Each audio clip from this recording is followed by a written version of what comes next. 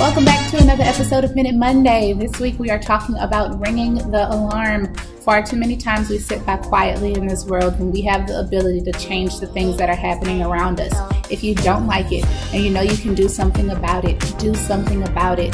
Don't let the world silence your voice. Don't let it silence your opinions. If you have the ability to make a difference, do it. If you can change it, change it. If you can speak up, speak up.